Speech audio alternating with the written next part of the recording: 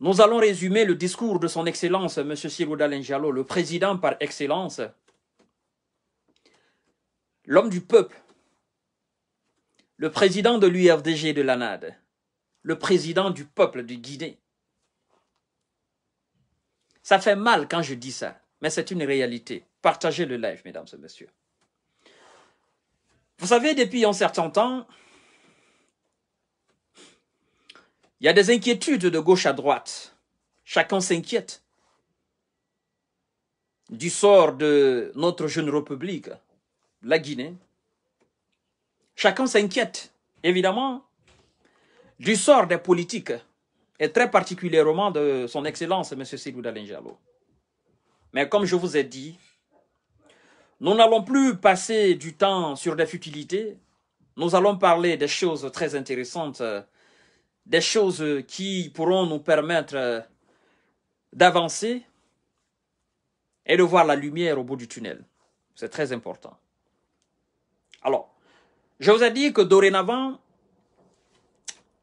nous allons essayer de résumer nos impressions en quelques phrases, quelques paragraphes, pour permettre à nos nombreux auditeurs qui vivent en Afrique de visionner l'intégralité de nos lives. Ceci dit, nous allons résumer nos lives. Nous n'allons plus faire de lives très longs. Mesdames et messieurs, vous savez, euh, Ahmed Septouré disait que le premier ennemi d'une révolution, c'est la confusion. Et cette euh, pensée est aussi euh, applicable à la démocratie. Le premier ennemi d'une démocratie, c'est la confusion. C'est l'incompréhension des citoyens du pays. C'est ce qu'on appelle le dégoût du prochain entre les acteurs politiques d'une nation. Parce qu'une nation est, quelque chose, est une entité qui est organisée. Et la seule chose qui dirige qui oriente, d'accord, qui examine les situations d'une nation, c'est la politique. Et comme j'aime dire, en tant que les décisions politiques, en tant que la question politique n'est pas encore réglée chez nous, on ne peut pas régler une autre question concernant notre nation. Partagez le live. Alors, nous avons constaté que depuis l'avènement du colonel Mamadi Doumbouya jusqu'à aujourd'hui, il y a des jeux politiques de gauche à droite. C'est pourquoi j'aime souvent dire qu'il y a anguille sous roche. Aujourd'hui, il faut être aveugle malhonnête, sous, pour ne pas constater euh, ce jeu politique entre les acteurs politiques eux-mêmes et ce jeu politique entre les acteurs politiques et le CNRD. Nous savons, nous sommes conscients que la force la plus redoutable, politiquement, la force la plus redoutable, la force la plus euh, visible, palpable, la force la plus effrayante en République de Guinée, sur le plan politique, c'est l'UFDG et l'ANAD. Et donc, pour ce fait, après les plans démoniaques, les plans les plus euh, malicieux du professeur euh, Alpha Condé et de son autocratie, pour essayer de déstabiliser l'UFDG et l'ANAD, après tous ces plans machiavéliques, aujourd'hui, nous faisons face à un autre plan. Un autre plan de destruction de l'UFDG et de son président. Chose qui n'est pas officielle, mais elle est officieuse. Cette pratique. Et je crois que le président de l'UFDG et de l'ANAD en a pris conscience. Il a pris connaissance et il est conscient de ce jeu politique, de ce jeu machiavélique. Et il a dévancé avant que la chose ne soit officielle, lui, il a dévancé ceux qui sont en train de manigancer aujourd'hui cette politique. Parce que vous savez, nous sommes en Guinée. 245 857 km avec 12 ou 13 millions d'habitants.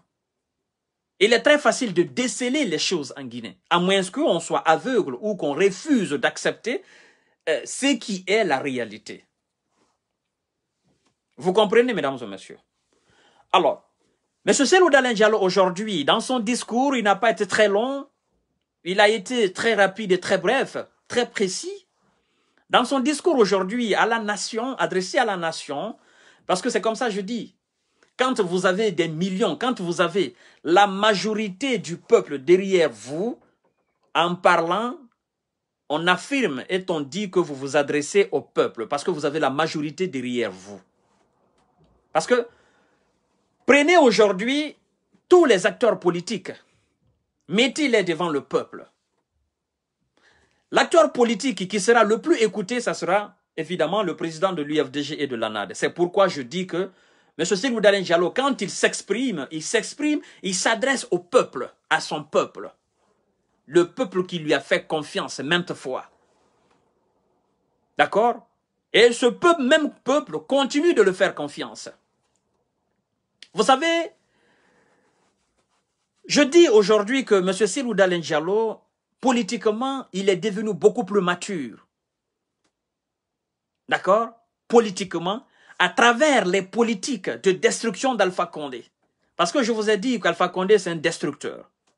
À travers les politiques malsaines d'Alpha Condé, à travers la politique dictatoriale d'Alpha Condé, M. Selou Diallo, le président par excellence, il est devenu beaucoup plus malicieux, il est devenu beaucoup plus malin, il est devenu beaucoup plus dur, il s'est endurci et il est devenu beaucoup plus expérimenté sur la scène politique. Ce sont évidemment les avantages de la dictature d'Alpha Condé. Parce que si on a le courage de dire que la politique, la dictature d'Alpha Condé a eu des inconvénients, évidemment sur le plan politique aussi, on peut affirmer sans embâche et sans équivoque que la dictature d'Alpha Condé, le mode de vision d'Alpha Condé sur le plan politique a permis à M. Sirou Diallo d'élargir son champ de vision et de comprendre la politique autrement. C'est ce que Ahmed Sektouré disait d'ailleurs que pour euh, euh, que pour qu'un homme puisse élever constamment le niveau de sa conscience, il doit accroître et perfectionner ses connaissances théoriques et pratiques. Alors, M. Sirou Diallo aujourd'hui, qu'est-ce qu'il a fait? De mauvaise politique d'Alpha Condé à mauvaise politique d'Alpha Condé, hein Selou n'a cessé d'accroître effectivement ses connaissances théoriques et pratiques de la politique. Et aujourd'hui, il a une vision beaucoup plus large de la politique. Alors, il est très difficile pour un Guinéen de venir le tromper sur le plan politique, même sur le plan économique. Encore moins sur le plan de l'administration ou de la gestion publique. Alors, Alpha Condé, d'une certaine manière, il a fait de Selou le politicien le plus durci, le politicien le plus costaud de la Guinée. Alpha Condé, d'une certaine manière, il a fait de l'UFDG et de l'ANAD le parti ou l'alliance politique la plus grande, la plus redoutée en République de Guinée. Vous allez comprendre ça plus tard. Et je sais que maintenant, les doués d'intelligence ont compris ce que je veux dire par là. Bien évidemment, il y a eu des tueries, il y a eu des morts. Dalen Diallo a, compris à travers le régime d'Alpha Condé qu'il ne faut pas fléchir devant une dictature. Et qu'il y a toujours une porte de sortie.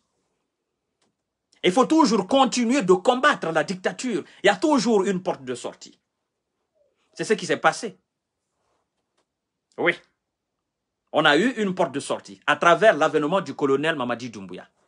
Alors, mesdames et messieurs, vous avez constaté que depuis un certain temps, depuis que le procureur général, le procureur général près de, près de la cour, effectivement, d'appel de Conakry, Monsieur Alphonse Charles White, depuis qu'il a touché les dossiers de Air Guinée et de chemin de fer, pourtant, il a touché beaucoup de dossiers, mais depuis qu'il a touché à ce dossier, les gens ont commencé à parler. Oh non, là maintenant, on va toucher à Selou Diallo, il sera disqualifié. Alors, la question qu'il faille se poser, dans quelle loi en République de Guinée on dit que, bon, je ne dis même pas, je ne vais même pas d'abord accuser Selou, ok, d'avoir été à la base de la vente du Air Guinée ou des chemins de fer, non. Mais dans quelle loi Dans quelle loi en République de Guinée il est dit que si vous êtes ancien ministre et que vous avez commis tel, tel, tel acte, et que maintenant vous êtes président d'un parti politique, vous êtes disqualifié de la participation des élections présidentielles. Dans quelle loi? Il n'y en a pas. Nulle part dans la constitution guinéenne, les constitutions qui se sont succédées en Guinée, nulle part il est mentionné. Et dans la charte de la transition, il n'est mentionné nulle part que quand on fait l'audit, les anciens premiers ministres qui seront, ok, reprochés de quelque chose ou qui seront condamnés par la justice guinéenne, évidemment, ils sont disqualifiés de toute participation des élections présidentielles. Il n'est mentionné, mentionné nulle part. Nous allons droit au but. Mais avant d'arriver là, parce que j'ai vu des gens, ils étaient contents. En disant, ah maintenant, colonel Mamadi Doumbouya, oui, il a toussé le véritable dossier de la Guinée. Oh non, c'est ce dossier-là, tout le monde s'attendait. Hein. Quand on a parlé de l'audit, j'ai dit, les gens même, tellement que les gens sont malhonnêtes, ils ont même oublié ceux qui ont dirigé sous le régime d'Alpha Condé. Les Kassouri, les Mohamed Djane, ceux qui étaient là récemment là.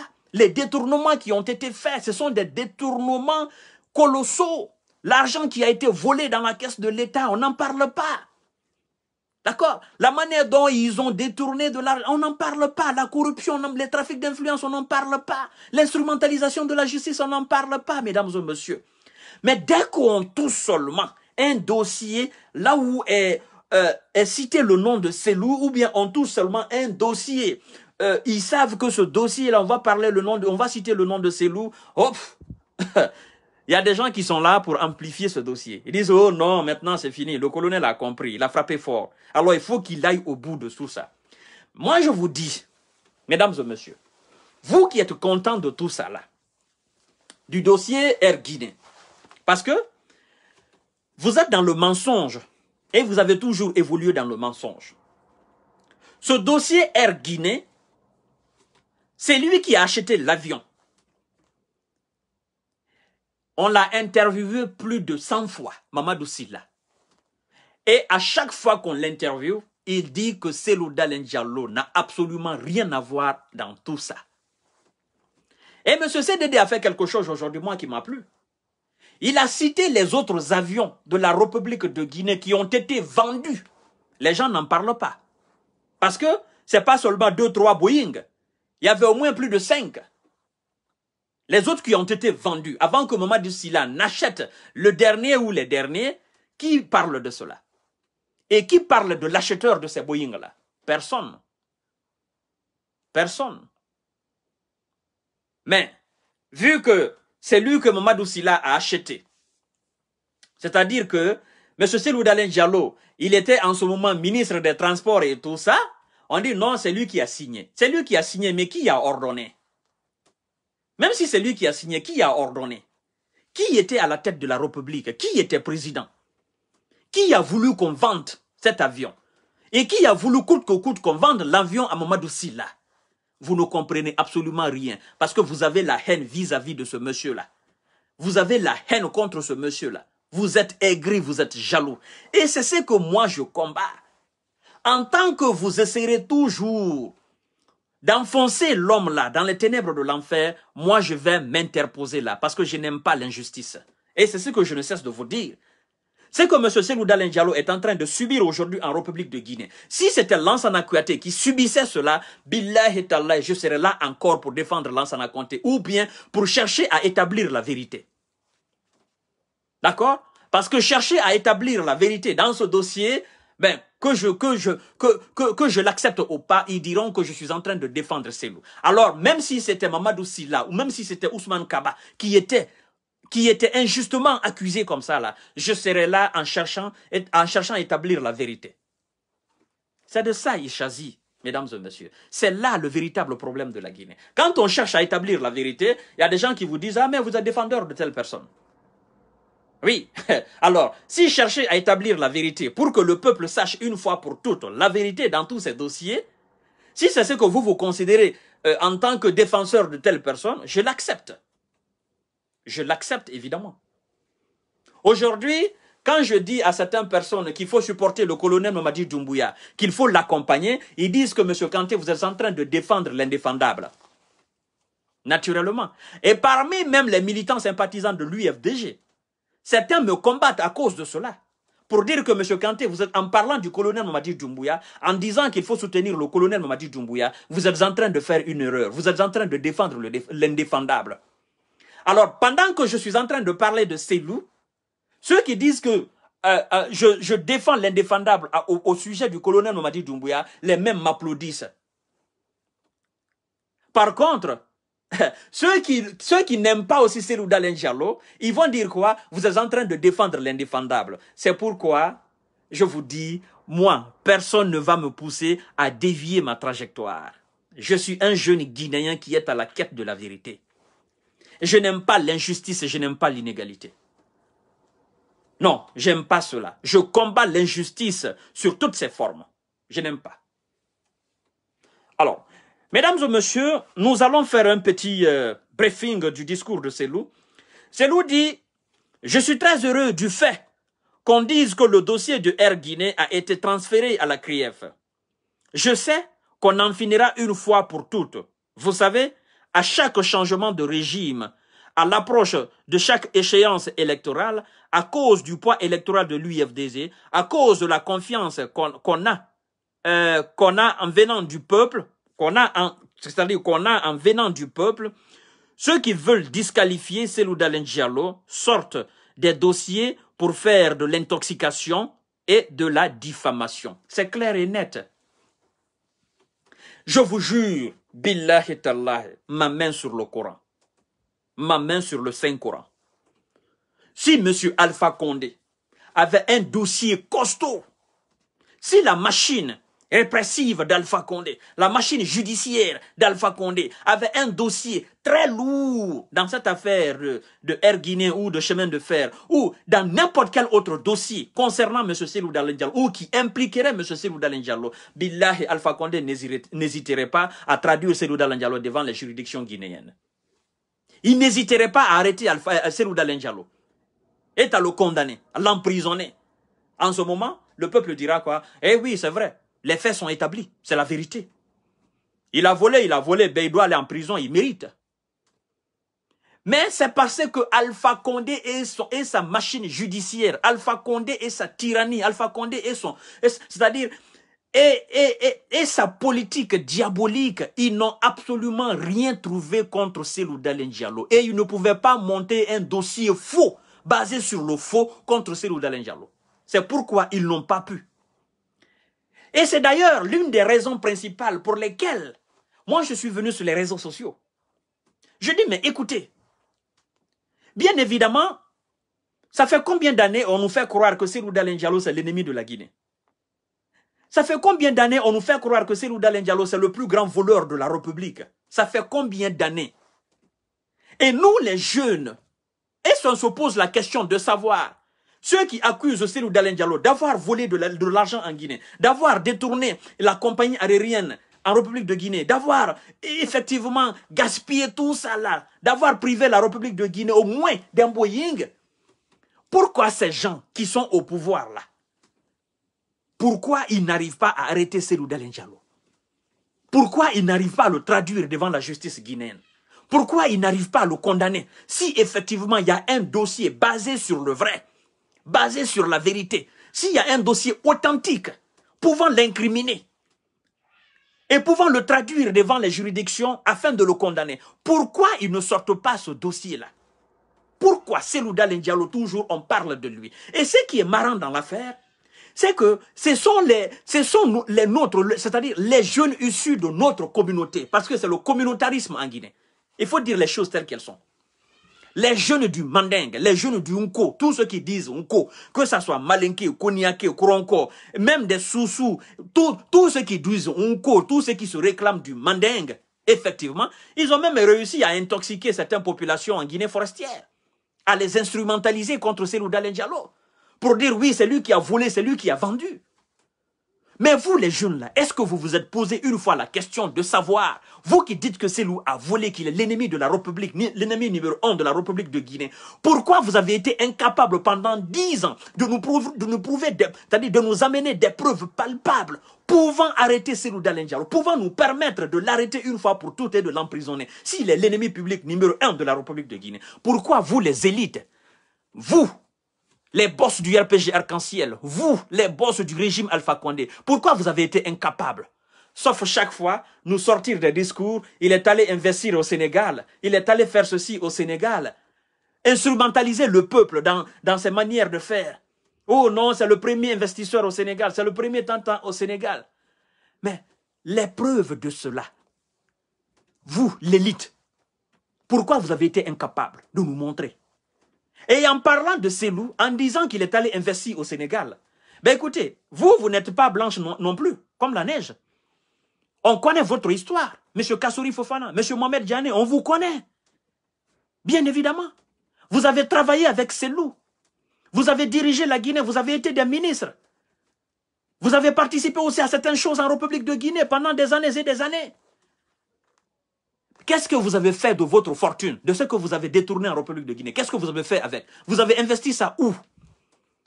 Qu'est-ce que vous avez fait? Parce que si on est capable d'accuser l'autre, on doit faire aussi son autocritique. Ça, c'est très important. Ça, c'est le travail des grands hommes, des grands, c'est-à-dire des hommes dignes. C'est très, très important. C'est pourquoi moi, je me dis, il y a un gros mensonge dans cette affaire. Et ce mensonge-là, moi, je ne vais pas l'accepter. Je ne vais pas condamner quelqu'un pour quelque chose qu'il n'a pas fait. Jusqu'à preuve contraire.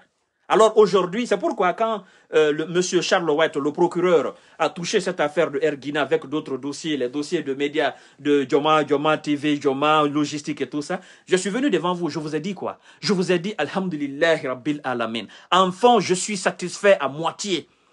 Parce que ce dossier de Erguina permettra une fois pour toutes, soit d'incriminer Selouda Diallo, ou de le laver une fois pour toutes devant la République de Guinée.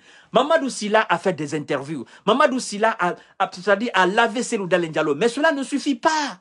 Le peuple peut se dire, oui, Mamadou Silla est en complicité avec Selou.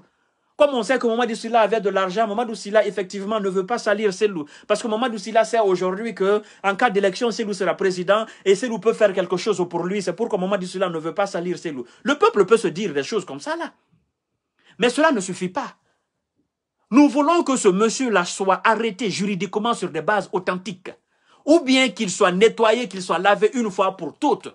Qu'on se dise, oui, dans l'affaire Air Guinée, chemin de fer, tout ça, c'est loup n'a absolument rien à voir avec. Alors, s'il a commis quelque chose de grave là-dedans, qu'on l'arrête, c'est un fils de la Guinée, et qu'on le traduise devant les juridictions guinéennes. Vous savez, mesdames et messieurs, même les militants sympathisants de l'UFDG, ils en ont marre de cette affirmation. Les militants, sympathisants de l'UFDG et de l'ANAD, ils sont aujourd'hui contents pour dire, bon, Alhamdulillah, parce que ce dossier-là se retrouve aujourd'hui dans la main de la justice. Soit c'est lui, il est coupable de quelque chose, on l'arrête, on l'emprisonne, on a un autre président, le, le docteur Oussou Fofana, soit c'est lui, il est lavé une fois pour toutes, et toute personne qui va l'accuser dans le vide, nous allons porter plainte contre lui. Donc c'est un dossier comme ça aujourd'hui. Même moi, M. Kanté, je suis content. C'est pourquoi M. Selouda Lengialo, il va loin et dit, et ça c'est vrai, parce que euh, l'affirmation, ok, euh, euh, euh s'intensifie à chaque fois qu'il y a d'élections, ben, on, on, on, souhaite, on, on passe, on profite par cette occasion pour le salir, effectivement, pour salir son image. Et c'est pourquoi moi, on me fait la guerre. Parce que moi, je ne permets pas cela. Il dit, étant à l'opposition, face à la dictature d'Alpha Condé, nous avons gagné les présidentielles du 18 octobre 2020 avec 53,84% dès le premier tour. Les Guinéens savent que Selou Diallo est à la, voilà, euh, est la chance pour la Guinée. Ils savent que nous luttons pour des valeurs. Nous cherchons le pouvoir pour aider tous les Guinéens. C'est pourquoi il y a des adhésions majeures à chaque fois. C'est ce qui suscite de la jalousie. Bien sûr, bien évidemment. Parce que si l'UFDG est un parti ethno, comme certains, comme certains le disent en République de Guinée, mais tous les Malinqués, tous les Koniakés, tous les Guerzés, les Kissi, tous les Soussous, tous les Bagas, les Thomas, ok, qui adhèrent aujourd'hui, qui sont en train d'adhérer aujourd'hui à ce parti, ben évidemment, ils se seront dire, ben écoutez, ça c'est un parti ethno, on ne sera pas là. Ça ne nous intéresse pas. La preuve en est que le vice-président de l'UFDG, lui n'est pas Peul, il n'a absolument rien à voir avec les Peuls. Docteur Oussou Fofana, il n'y a pas de Fofana Peul.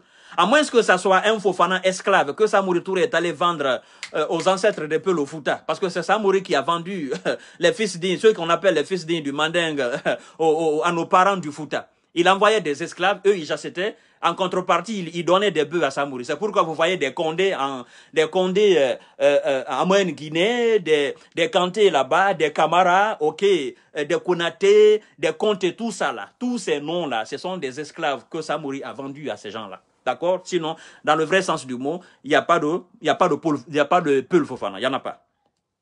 Ok? Bon, on avance. Ça, c'était justement une partie du parenthèse. Mais c'est la jalousie.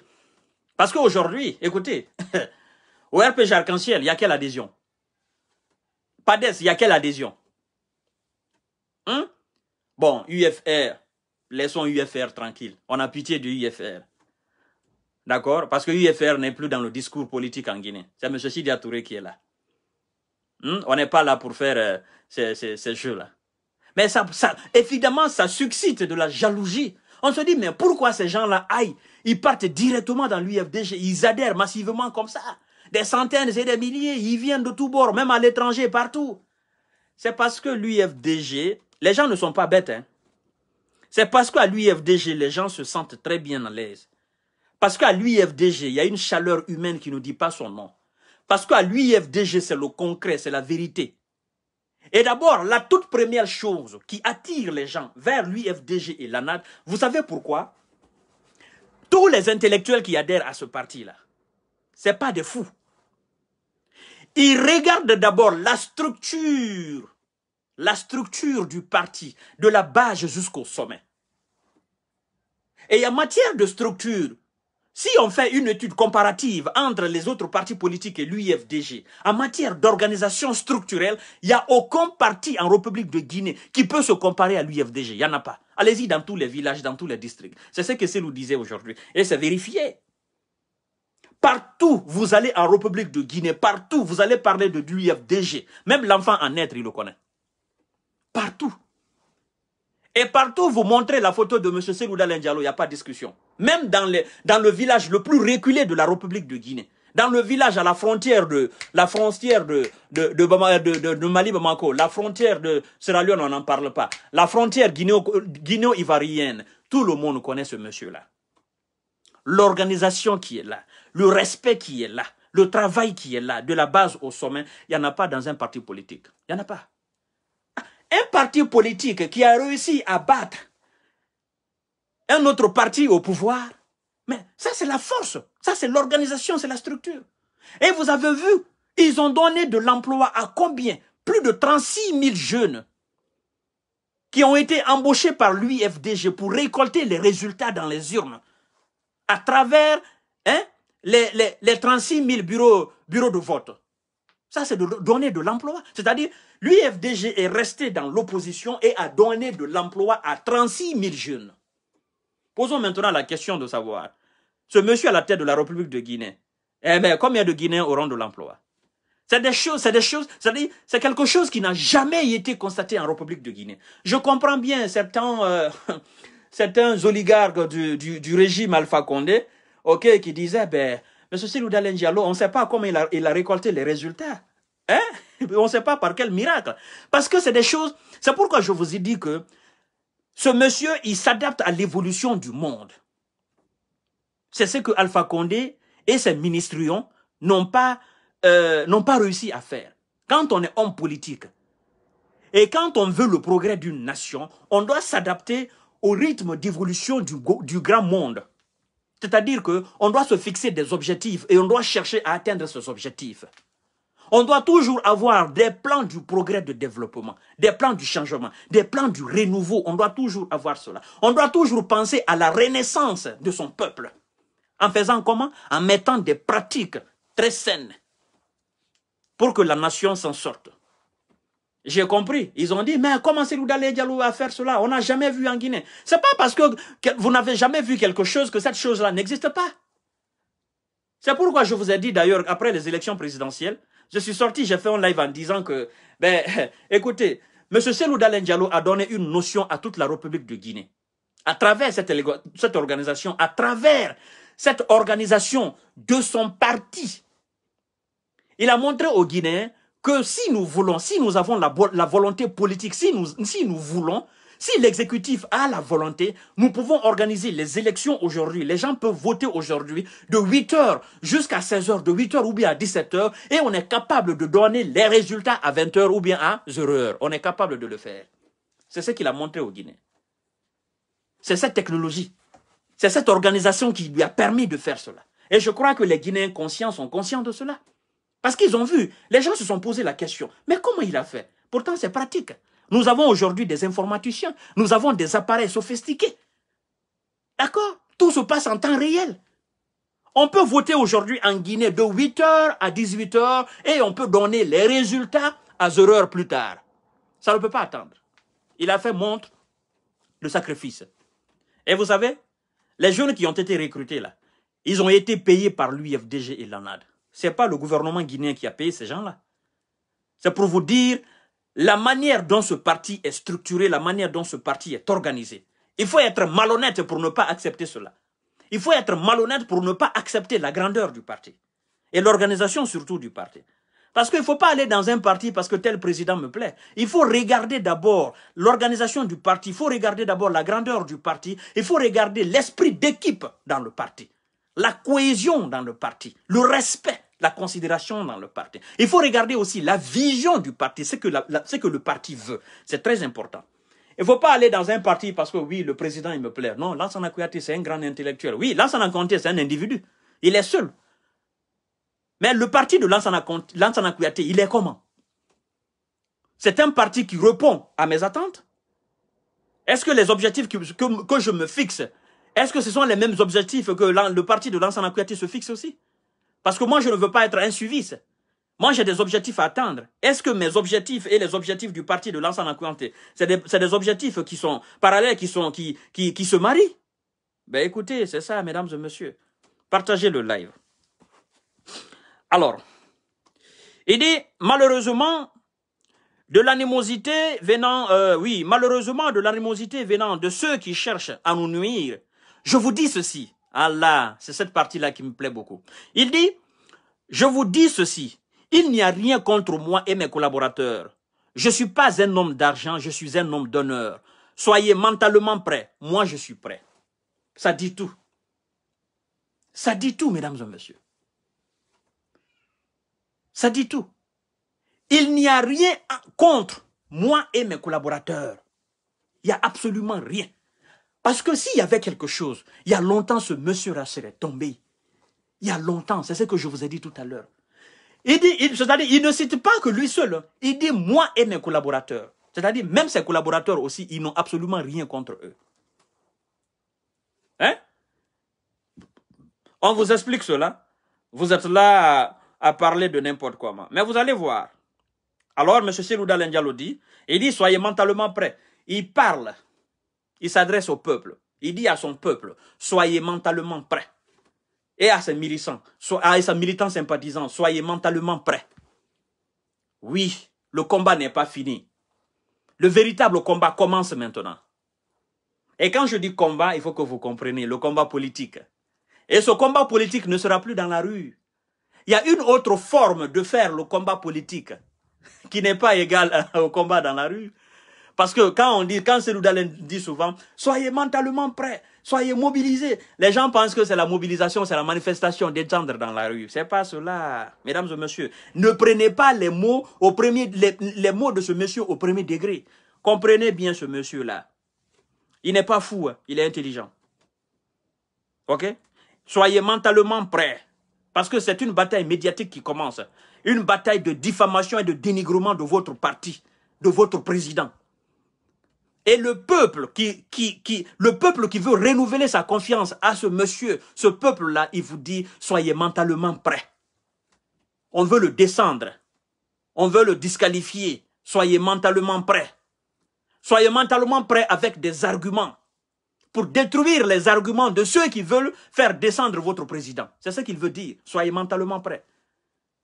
Voilà. La politique, c'est des arguments. Tu viens sur la table, je suis là, on discute. Oui, qu'est-ce que tu as reproché à mon président? Ah oui, ça, ça, ça, ça, ça, ça. Moi, j'ai aussi des contre-arguments.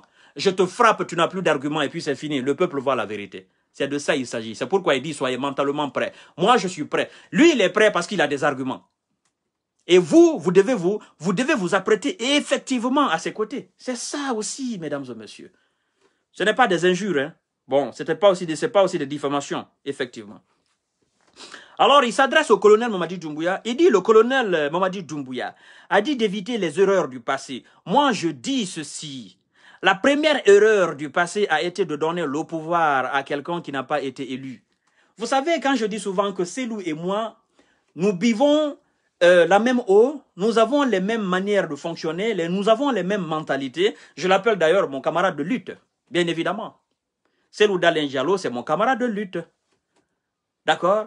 C'est pourquoi, même s'il vient à Paris ici, je n'ai pas besoin de le rencontrer. Parce que aller le rencontrer, c'est comme si j'allais me rencontrer moi-même. Ce qu'il a dans la tête, c'est ce que j'ai dans la tête. J'aime pas courir derrière. Pourquoi je vais courir derrière? Ce sont ces militants qui doivent courir derrière lui pour aller le voir. Mais lui et moi, nous avons les mêmes modes de pensée. Si peut-être je dois aller le voir, c'est pour aller le saluer en tant que camarade, camarade, camarade de lutte. Ouais, bonjour, comment vas-tu? Oui, c'est ça. Il n'a pas besoin de me dire quoi que ce soit. Je sais déjà ce que je dois faire. Il sait déjà ce qu'il doit faire pour la Guinée. C'est un camarade de lutte. Vous savez? Moi-même, j'ai eu, avant qu'il ne prononce cela, moi-même, j'ai eu à faire un live là-dessus. J'ai eu à faire un live là-dessus. Je dis, mon colonel m'a dit Doumbouya, si vous vous rappelez très bien, je dis, la réussite de la transition, la réussite politique de la transition, c'est d'organiser les élections et les élections crédibles, démocratiques et transparentes donner les résultats, c'est-à-dire proclamer les résultats qui seraient venus des urnes directement. Les résultats qui viendront des urnes, c'est-à-dire les résultats issus de la manifestation du peuple. Le peuple s'est levé, allait voter. Alors ce résultat-là dans les urnes, prenez ces résultats, faites la sommation, d'accord? Donnez à César ce qui appartient et donnez à Dieu ce qui appartient. Proclamez ces résultats qui, qui va sortir des urnes. Proclamez le nom du vainqueur à la télé. Ne faites pas du faux. Ne trompez pas le peuple. Parce que si vous changez le nom du vainqueur, vous avez trahi le peuple, mon colonel. Si vous changez le nom du vainqueur, ça, devient une transition, c'est-à-dire à zéro une transition qui a échoué. Aujourd'hui, on est en train de dire que oh non, le colonel a échoué. Non, moi je dis non, le colonel n'a pas échoué. Le colonel va échouer quand il va effectivement tricher la victoire de quelqu'un pour donner à quelqu'un qui n'a pas gagné. Le colonel, ce jour-là, il va échouer. Et ce jour-là, lui-même, il ne va pas dormir. Parce que sa conscience va le reprocher jusqu'à sa mort. Comme disait quelqu'un, que il n'y a pas de témoin plus redoutable à l'accusateur le plus implacable que la conscience qui s'éveille en chaque homme. Oui, il n'y a pas de témoin plus redoutable, à l'accusateur le plus implacable que la conscience qui s'éveille en chaque homme. Le témoin du colonel Mamadi Doumbouya, je ne souhaite pas, le jour qu'il va tricher le nom du vainqueur pour donner à quelqu'un d'autre, son seul témoin là, qui va le reprocher jusqu'à sa mort, ça sera sa conscience. Et c'est le même témoin qui est en train de reprocher le général Sekouba Konate. Ça va le hanter jusqu'à la fin de sa vie, de sa vie du moins. Parce qu'il a trahi le peuple. Parce qu'il a donné le pouvoir à quelqu'un qui n'a pas gagné. En l'occurrence, M. Alpha Condé. Et je vous ai dit, avant que Cellou ne fasse sa sortie aujourd'hui, concernant euh, ce sujet, la réussite de la transition, moi j'ai eu à vous dire ici que Alpha Condé a souffert de, de, de légitimité. Il n'avait pas la légitimité du peuple. On a triché la voix du peuple, on lui a donné. Et lui-même a triché le peuple en 2015 c'est-à-dire que toutes les élections, toutes les trois élections, 2010, 2015 et 2020, Alpha Condé a triché. Donc, il a souffert de l'illégitimité. L'illégitimité vis-à-vis du peuple, l'illégitimité vis-à-vis de son créateur et l'illégitimité vis-à-vis de son propre âme. C'est ce qui a fait qu'il ne pouvait pas travailler. Bien évidemment. Parce que sa conscience le reprochait. C'était le témoin implacable. Mesdames et messieurs, c'est pourquoi il dit Seloudalen dit, il dit d'éviter les erreurs du passé. Moi, je dis ceci. La première erreur du passé a été de donner le pouvoir à quelqu'un qui n'a pas été élu. Alpha Condé n'a pas été élu en 2010. C'est pourquoi il a refusé de respecter les lois et les engagements. il n'a pas voulu organiser les élections à bonne date, car il savait qu'il n'est pas légitime. La deuxième erreur s'enferme, s'enfermer quelque part et dire que tel est bon, tel, tel mérite et tel ne mérite pas. Il faut donc que le colonel Mamadi Doumbouya se rappelle de ses erreurs du passé pour les éviter. Ça, c'est très important. Il dit la deuxième erreur, comme moi-même j'ai eu à dire, il dit, c'est de s'enfermer dans un bureau ou bien dans une salle de conférence pour dire, oh non, M. Sidi Touré mérite d'être président, c'est lui. On ne doit pas donner Selou Dalen Diallo, bien, bien, vrai qu'il soit le vainqueur des élections. Oui, bien vrai que oui, le peuple a, renouvelé sa confiance en lui, mais c'est pas lui qui mérite. D'accord? À nos yeux, c'est lui qui mérite d'être le président de la République de Guinée, c'est Dr Ousmane Kaba. C'est lui qui mérite d'être le président de la République de Guinée, c'est M. Baouri. C'est lui qui mérite d'être le président de la République de Guinée, c'est M. Lansana Kouyaté, c'est-à-dire tout sauf Selou. Vous avez compris? Parce que, mesdames et messieurs, quand Selou dit qu'il faut respecter la voix des urnes, est-ce que vous vous posez une question? La question que vous devez vous poser, pourquoi Selou veut à coup sûr qu'il faut qu'on respecte la voix des urnes? Parce que tout simplement, je vais vous révéler, M. Seloudal est, sûr et certain à 99,99% qu'une élection, une élection présidentielle organisée en République de Guinée, démocratiquement, transparentement, une élection organisée sur la vérité et le résultat sorti des urnes proclamé les résultats authentiques proclamés, il sait qu'il ne va pas échouer. Il sait cela. Il a la ferme conviction. Il sait que n'importe quel parti politique devant l'UFDG face à face sur la vérité D'accord Sur l'honnêteté et la sincérité d'un exécutif qui veut réellement que, oui, c'est le peuple qui a le choix de d'élire le président qu'il veut. C'est Loudalen je sais qu'il a la capacité de battre tous les partis politiques en République de Guinée et toutes les alliances politiques en République de Guinée. C'est pourquoi il dit toujours qu'il faut respecter la voix des urnes. C'est pour cette raison. C'est pas autre raison. Bien évidemment, c'est pas autre raison. Oui. Alors, n'a pas été lu, bon, en 2010. Il dit, bon, Alpha Condé, effectivement, il avait peur. La deuxième erreur, il dit, la deuxième erreur du passé est le manque de dialogue. Vouloir s'enfermer, bon, j'ai cité ça tel et tel. Il dit, il faut que le colonel Mamadi Doumbouya se rappelle de ses erreurs du passé pour les éviter. Je veux qu'il organise des élections libres et transparentes avec son équipe et qu'il rentre dans l'histoire et devenir le père de la démocratie.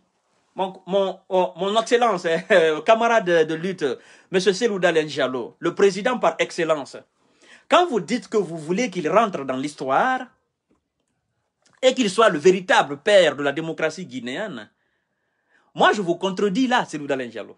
Oui, je vous contredis. Je voudrais que vous réformiez très bien cette phrase. Oui, en disant je veux qu'il rentre dans l'histoire et être le véritable père de la démocratie. Je vous contredis.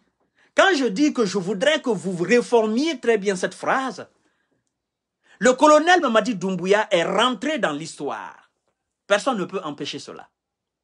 D'accord Ça, c'est déjà fait. Il est rentré dans l'histoire de la République de Guinée. La question maintenant qu'il faut se poser, c'est est-ce qu'il sera le véritable père de la démocratie guinéenne? Est-ce qu'il va sortir par la grande porte? C'est ça.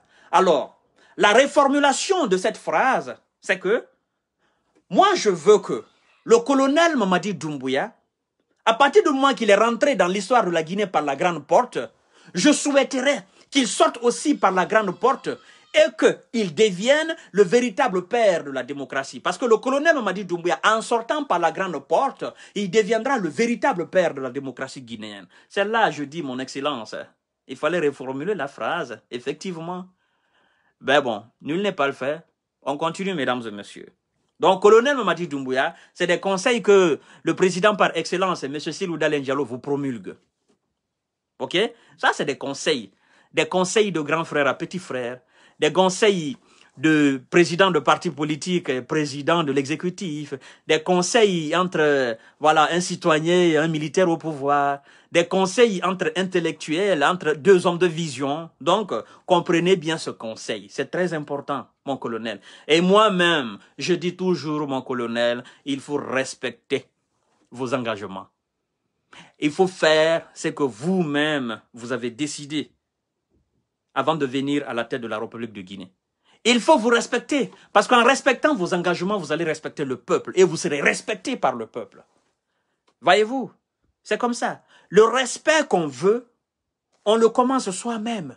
Si on ne respecte pas, on ne se respecte pas, comment voulez-vous qu'on se fait respecter? C'est impossible. Moi, je ne me respecte pas. Et je veux me faire respecter, mais c'est impossible. Mon respect commence par moi-même. Je dois d'abord me respecter avant que les autres ne me, ne me respectent. J'ai pas besoin d'imposer une dictature sur les gens pour qu'ils me respectent. C'est ce qu'Alpha Condé a voulu faire. Il a voulu imposer la dictature pour que le peuple le respecte. Non. Alpha Condé devait respecter ses engagements et ses promesses. Et ce respect allait venir directement et naturellement, simplement, de la part du peuple. Mais vous avez été incapable d'employer le peuple. Vous avez été incapable de répondre aux attentes, aux aspirations du peuple. Comment voulez-vous que le peuple vous respecte? Et ça, c'est de la mythomanie, mesdames et messieurs. Ça, ça ne marche pas. Alors, son Excellence dit, il dit, je relance cet appel au colonel Mamadi Doumbouya. Il faut qu'il accepte d'ouvrir un cadre de dialogue entre le CNRD, les, euh, les politiques, la société civile, le CNT, pour décider ensemble de la transition. Nous sommes en période d'exception.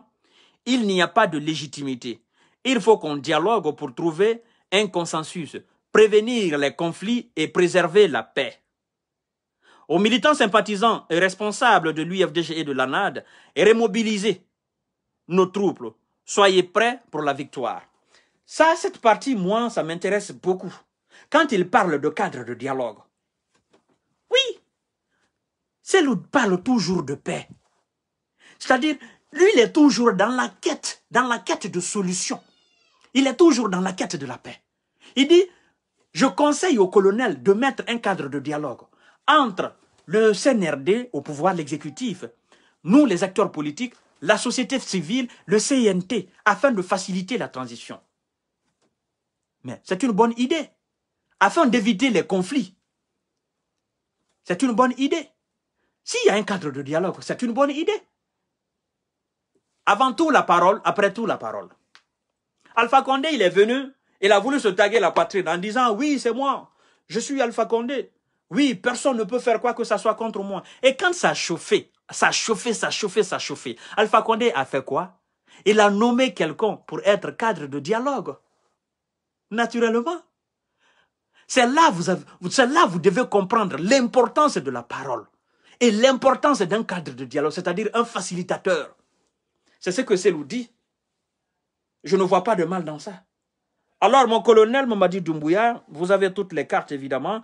Alors, mesdames et messieurs, vous partagez la vidéo au maximum. Nous allons brièvement parler du cas de M. Dansa Kourouma, le président... Euh,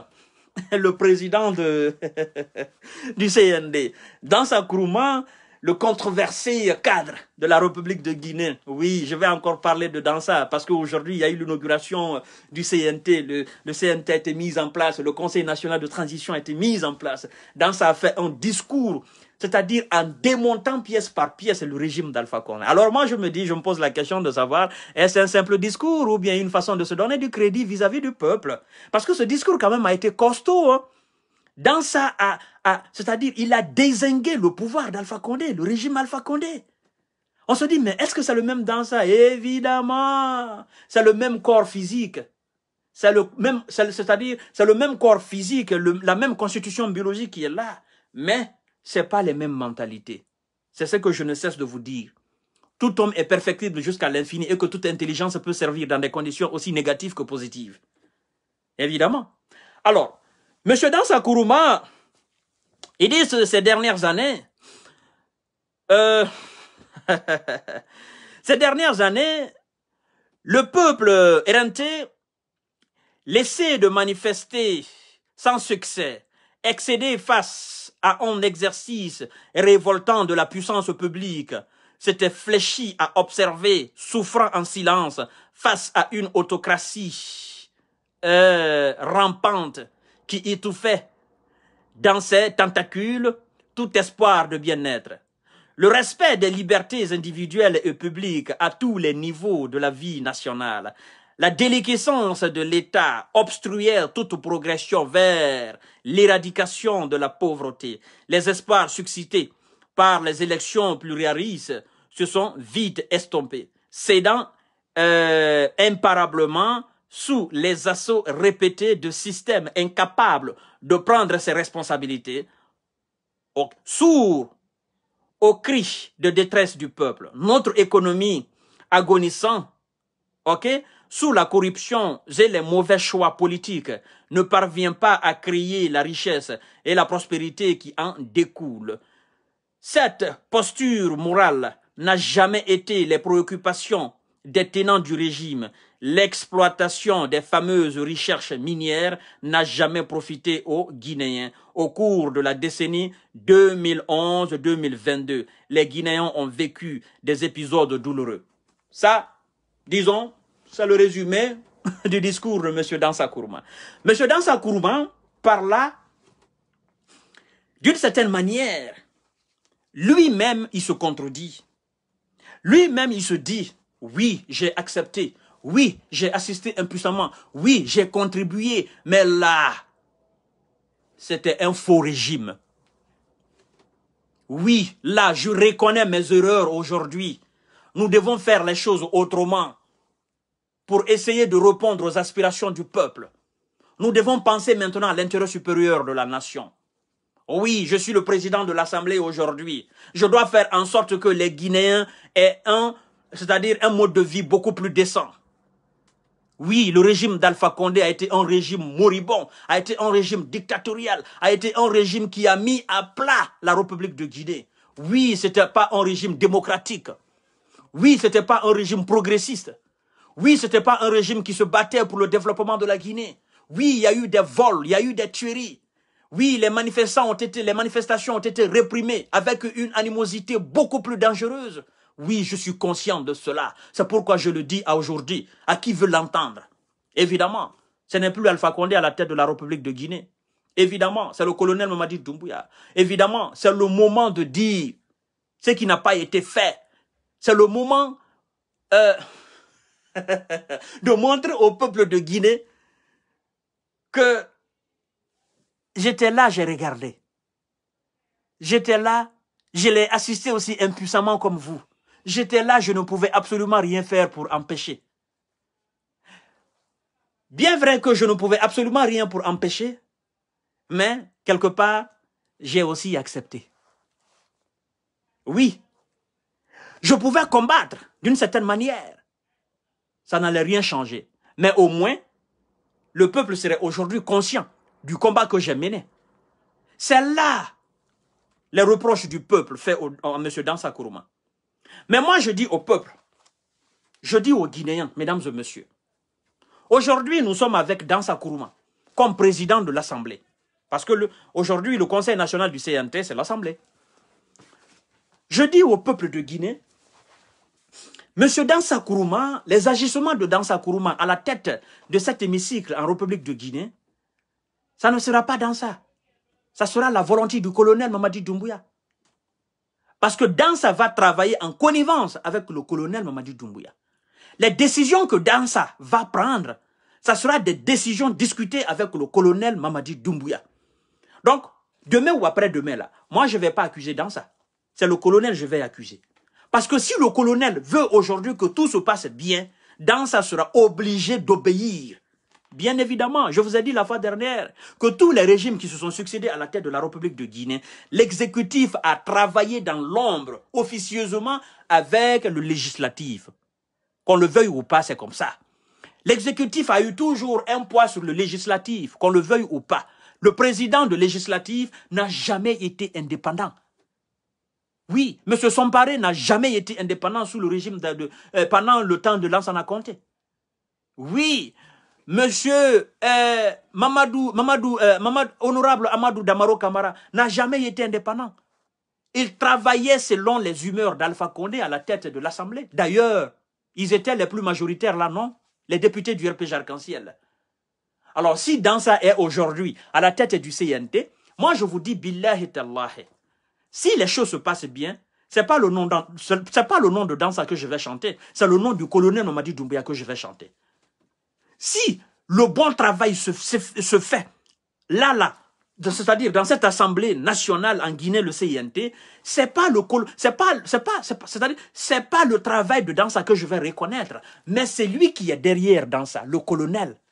Parce que c'est le colonel qui a choisi Dansa et il sait pourquoi il a choisi Dansa. Et si les choses se passent mal, je ne souhaite pas, c'est le colonel que je vais attaquer avant d'attaquer Dansa.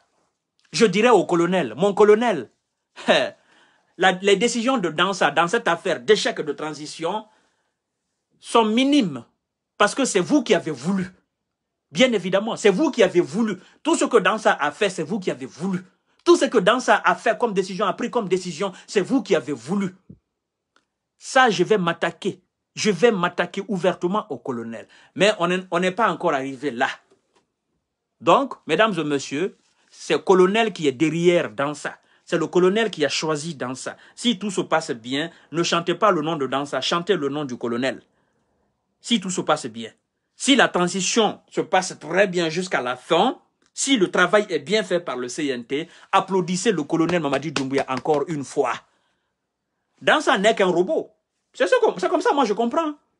Oui, la télécommande est détenue par le colonel Mamadi Doumbouya. Eh oui, vous devez comprendre cela.